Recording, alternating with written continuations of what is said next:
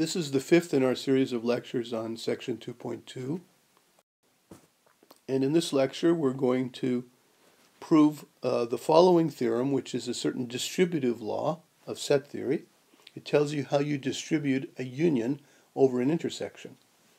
So it says for all sets A, B, and C, A union B intersected with C is equal to A union B intersected with A union C. So it says that you should take the union of A with each of B and C separately, and you should intersect the results. And that's equivalent to the original union.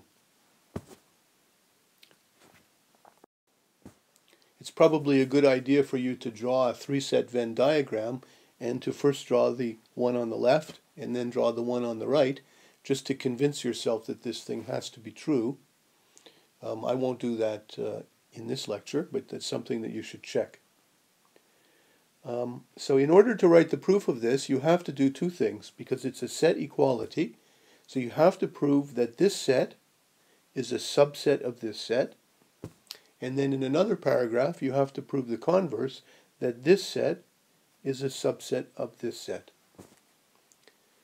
And in order to do that, to, to, to do each of those, you have to make use of the working definitions of union and intersection. So there isn't much more for me to say about it other than to ask you to put your video on pause and go ahead and try to do that. So see if you can uh, write up a proof of this and when you come back you can compare your answer to mine. So here's my proof. I wasn't able to fit it all on the same slide. So you'll. This is the proof of the first half. This is the proof of um, this half here. And we'll do the other the proof of the other half on the next page. So I warn the reader that I'm first going to prove this inclusion here. So how does one prove that something is a subset of something else? You have to take a generic element of this set, and you have to prove that it lies in this set.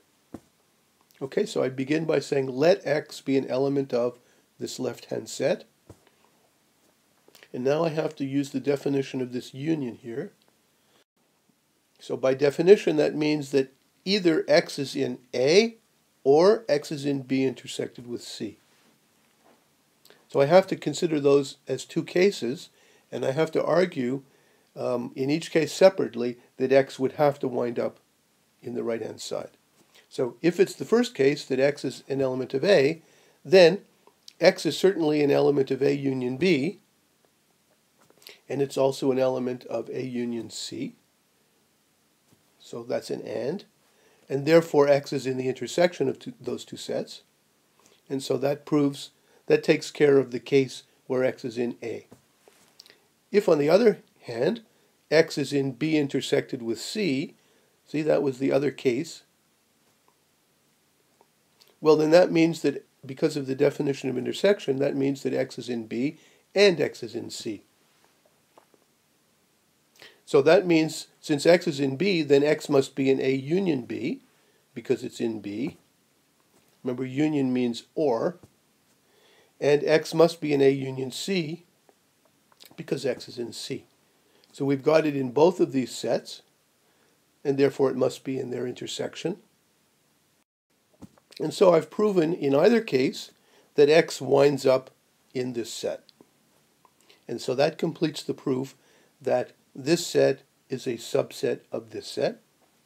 And I put that in a display and labeled it as um, number one, because we'll refer to it later.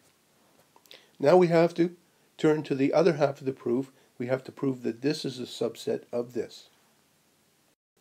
So remember, we're trying to prove next that this thing is a subset of this thing. And so I should begin by um, giving myself an x in here and proving that it's in here. So I say, suppose, conversely, that x is an element of that right-hand set. Now what does it mean to say that? It's an AND statement. So that means x is in here and x is in here. Now if x happens to be in A, well then that automatically puts it in here because this is a union. Okay, so that takes care of the case where x is an element of A. On the other hand, if x is not an element of A, then since it's in this union, it must be in B. And since it's in this union here, it must be in C. And therefore, it must be in B intersected with C. And so we've shown that in any case, X is either in A or in B intersected with C, and therefore it's in the union of those two sets. Okay, so that completes the proof that this set here is a subset of this set. Now if you compare 1 with 2, 1 gives you the reverse inclusion, 2 gives you this inclusion, and so it follows that the two sets are equal, completing the proof. Okay, so that's sort of a typical way of proving the equality of sets, and there are numerous other examples of such things in the um, exercises at the end of section 2.2 for you to practice on. And so that's, that's something that you should do.